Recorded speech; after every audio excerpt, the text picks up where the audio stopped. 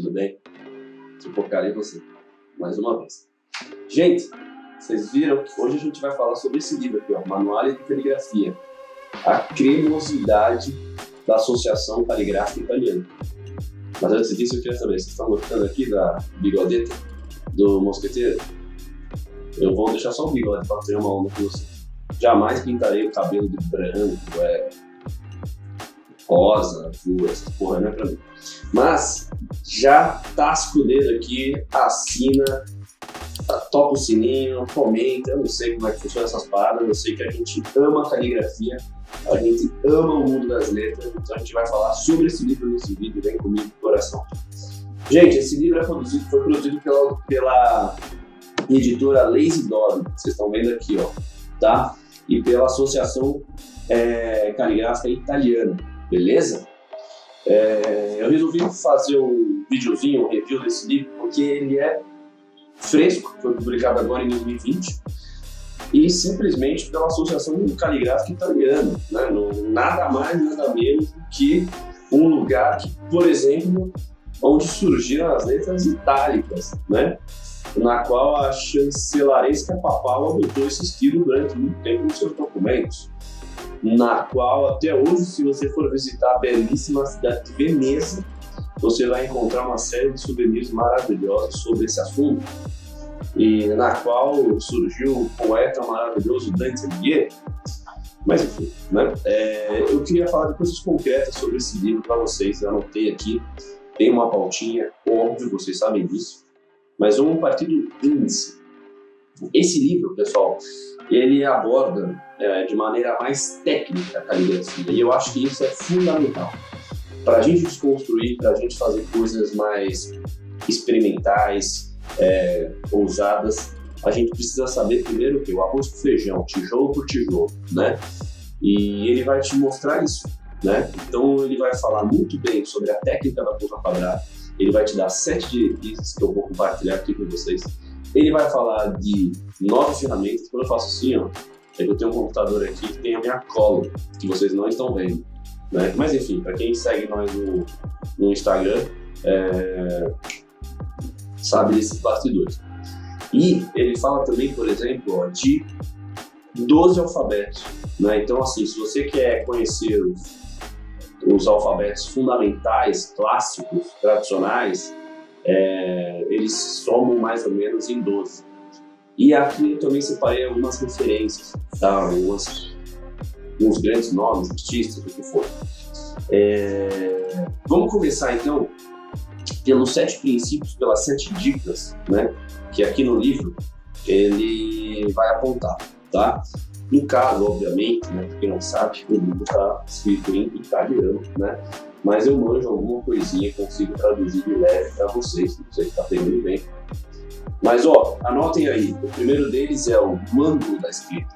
O ângulo vai ser fundamental, seja 30 graus, 45 graus, 60 graus. Mas se você quer ter regularidade, consistência, mantenha o ângulo firme nas suas letras. Tá bom? Anotaram aí? Ângulo. Segunda coisa, o peso da letra, né? Para sua letra ficar, digamos assim, regular, né? Ela não ficar nem fininha, nem gordinha, você precisa respeitar a proporção, né? Dessa letra. E para você respeitar essa proporção, você acaba o quê? É, fazendo a altura de X correta dela, né? Se você inventa qualquer pauta, você vai estar fugindo da característica daquele alfabeto. Então, respeite a proporção da sua letra, beleza? O item 2. Item 3, né? Cada alfabeto, cada letra tem uma forma específica, né? Tem uma estrutura específica. O A da letra itálica é diferente do A da, te, da textura, que é diferente do A da gótica, que é diferente do A da uncial, tá? Então a gente precisa conhecer essas formas, essas estruturas, para poder reproduzir elas da maneira correta e depois é, pirar, inventar, o que for. Item 4. O número de traços é muito importante, né? Então, poxa, vou fazer esse A, sobe um, dois, três, né? Quantos traços eu tenho para poder fazer uma letra? Então, ela vai, esse livro ele vai te orientar dessa forma também. Item 5, a ordem dos traços. Poxa, esse traço eu vou começar de cima para baixo, da esquerda para a direita, é, na diagonal, né? Então, a ordem dos traços também pode ser um grande facilitador para você. Item 6, é, a direção do traço. Né? Eu falei a ordem, né? Então a ordem no final é 1, 2, 3, por aí, e a direção também. Então meio que juntei esses dois, desculpa pessoal. E para terminar, vai ter a questão da velocidade. Tá? A velocidade é muito importante também, é, porque você vai conseguir o quê? Ter às vezes uma letra mais expressiva, uma letra mais solta, uma letra mais rebuscada. Então a velocidade também influencia. Se você for muito devagar, a chance da sua letra ficar tremida é enorme. Né? Se você for muito rápido também, às vezes você não vai ter tanta precisão. Ou seja, você precisa achar a velocidade ideal.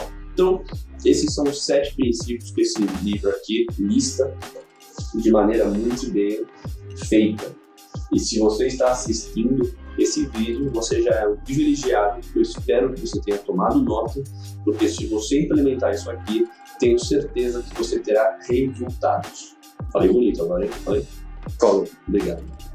Vamos lá. Eu queria agora falar muito por cima de 12 alfabetos que eles mencionam que são é, alfabetos importantes para quem quer ser um Jedi, um faixa preta, um último samurai da caligrafia.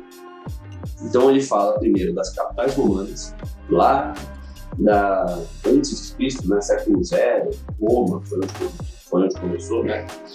Então fala da importância das capitais romanas. Eu não vou ficar mostrando todas, todos esses alfabetos, mas enfim, todo, todo o livro tem demonstrações, né? Tem a ordem, tem direitinho um pouquinho disso, tá? Então anote aí. Primeiro ele fala das capitais romanas, depois ele vai falar das letras blocadas, que ele coloca aqui como block letters, né? Então ele vai falar bastante das letras blocadas, beleza? Depois ele fala da fundamental, né, do Eduardo Bionfo. É o terceiro alfabeto que ele coloca aí. Daí ele vai falar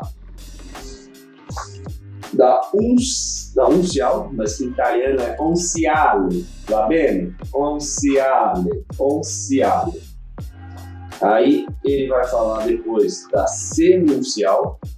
Para quem não sabe, né, a uncial, fazendo um parêntese rápido, foi quando começa a aparecer ascendentes e descendentes, porque nas capitais romanas as letras não tinham né, essa variação de altura. E aí, depois desse estilo, ele vai falar da rotunda, tá? Então essa letra aqui, vocês estão vendo? Não sei se está segurando bem o livro aí. Depois da rotunda, que eu gosto muito, devia treinar mais, ele vai falar da textura, textura que foi o tipo de letra que a Bíblia do Gutenberg foi impressa, tá? Lá no século XV, 1450 e pouco, foi a época da Revolução Protestante, do Martinho Lutero. É, depois disso vai ter a bastarda, né? Antes de falar da fracto, Deixa eu só dar uma olhada aqui. Exatamente. Então ele fala da bastarda depois, tá? Antes de falar da, da fraca. Tenho certeza que depois da bastarda vai vir fraca, entendeu? Exatamente igual ao Ronzão. Olha lá. Fraco. E uma observação, todos esses estilos até aqui, a gente está em 1454, 1522, a gente está falando de ponta quadrada tá? A gente não está falando ainda de pena de ponta oficial, nada disso, tá? E o livro é muito legal, porque, ó, por exemplo, aqui ele faz um, uma espécie de checklist, de menuzinho, tá? Falando do ângulo, falando da ferramenta, da forma da lei, coisas que a gente viu no início do vídeo falando do princípio. O princípio era o verbo, né? Que é de tela, festa, pessoal, Fecha aqui. É, ele vai falar também do, da itálica agora. É, e aqui ele mostra só uma itálica monoline, né? É uma itálica ainda que se faz com uma matita, que é lápis italiano? Não, certo. E, e aí você ainda não está usando aqui uma ferramenta de ponta quadrada. Depois, quando você tem uma pena, ou um pincel chato, olha só que maravilha. Tá ficando bonito, né? Mostrar as coisas assim? Mais ou menos, tá misturada a luz. Mas depois de misturada, Paciência, o pessoal vai ter paciência. pra ter paciência, sabe por quê? Porque vocês são calichonados que moram aqui. Quando eu bato no meu peito assim, ó, eu falo, vai Palmeiras! Palmeiras é gigante. O meu, meu sobrinho fica assustado. Porque eu falo, Dante, Dante, Palmeiras é grande. Fecha parênteses. Se eu estiver causando muito, aí você me fala, aí, pelo amor de Deus, tá causando, tô causando muito, perdão. Daí aqui a gente vem pra brush pen. Beleza? Olha que coisa linda. Cheia de graça. E finalmente, depois da brush pen, a gente vem para cursiva inglesa. Falei para vocês que eram 12 estilos que eles destacam nesse livro. Então, é, depois da cursiva inglesa, eles vão falar de uma coisa que é muito legal. Presta atenção aqui, muito legal. Não consigo chegar mais perto de vocês, mas ó, olha minha mãozinha aí, ó. Tá vendo? Um beijo pra vocês. É, oh, muito louco esse padrãozinho assim, né? Ó. Enfim, gente, presta atenção. Isso tudo para focar que é, depois que você aprende essa questão, essa parte técnica desses 12 alfabetos, a, os princípios de como segurar, a, a questão da proporção, da forma, do ângulo, tudo isso que a gente falou, você vem aqui, ó, caligrafia no seu estado de arte. Né? O que é o estado de arte? É quando você vai aplicar ela no mercado criativo, numa embalagem, num cartaz de cinema, numa estampa de roupa, é, num anúncio, numa fachada, num mural. E tem coisa mais bonita do que você ver a caligrafia, ó. Ó, o que, que é isso? Ganhando vida? Não tem. É quando as letras começam aqui, ó, ó, ó. Elas começam a dançar, se relacionar com a gente. Isso é fantástico, né? É poesia, né? Mas enfim, eu estou inspirado nesse, Espero que eu esteja inspirado na live de hoje também, que eu vou falar exatamente sobre esse assunto. Isso aqui já é um, um, uma versão beta, um teste. Então, se você gostou muito disso, assista a live depois no meu Instagram. Uhum. Se a gente tá em outro, outro dia, no caso. É verdade. O vídeo vai para depois. O vídeo vai pro ar depois, mas enfim, ó, vai ter uma live só sobre. Teve uma live. Teve uma live. Olha lá que bonito, isso aqui é sintonia. Teve uma live só sobre esse livro de uma hora. Aqui eu tô fazendo um compilado assim, ó. Tá salvo no Instagram. Tá bom? Tá salvo no Instagram. Muito obrigado, meu irmão. E ó, aqui vocês vão ter alguns trabalhos sobre esse que eu tô falando. Do Luca Barcelona, por exemplo. Tá?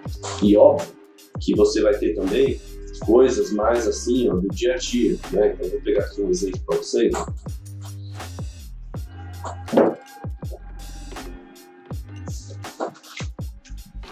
Tem muito exemplo, tá? É, queria pegar um legal aqui, acho que aqui dá pra ver, né? Então você, por exemplo, você vê que tem rótulo de vinho, você tem embalagem, você tem marca, né? Você tem vários tipos de coisa, né? Então a caligrafia tem essas finalidades diferentes, né? Olha aqui, novamente, a riqueza das possibilidades que você tem a partir do momento que você conhece bem essa arte, o quanto você pode aplicar ela, dar vida nos seus projetos, na capa de um livro, né? É, enfim, na decoração, né? na, na marca do estabelecimento, o que for. E queria só passar alguns nomes: Rachel e Alop, que seria a Raquel, e a Lop, se é assim que fala, é Y-A-L-L-O-P, Põe na descrição do vídeo. tá bom? Vamos ter o Luca Barcelona, vamos ter o Julian Waters, vamos ter a Yu- Yu- Yukimi Anand, ela é uma oriental fantástica. A Chiara Riva, eu sou fã de paixão dela também, ela é italiana. O Carl Ross, que é americano, se eu tenho quase certeza que é americano, mora nos Estados Unidos. O Dennis Brown, que é lá da Europa. E o Brodney Chandler. São feras da caligrafia, grandes mestres, grandes referências que você pode seguir e consumir tudo que eles oferecerem sem medo nenhum. E para fechar esse nosso vídeo, pessoal, que ficou até meio longo, imagino, eu queria novamente enfatizar a importância de a gente aprender esses alfabetos históricos, a técnica bem feita, para depois a gente criar. Tá óbvio que gente precisa aprender, saber todos esses dois al- alfabetos perfeitamente. Mas assim, vamos ter uma ambição alta, né? Vamos sonhar grande. e melhorando aos pouquinhos cada um deles, para depois a gente ir aplicando isso nos nossos projetos, sejam eles para clientes, projetos pessoais, autorais, independentes, né? Que eu acho que isso vai ser algo incrível e muito útil de valor para vocês. Beleza? Espero que vocês tenham gostado. Se você quer deixar algum comentário, aproveita, dá like, se inscreve no canal se você ainda não se inscreveu. Eu vou tomar um copo d'água, porque minha garganta que tá, ó, tá dureza já. E um beijo na testa de vocês. Ó, tá bom, pessoal.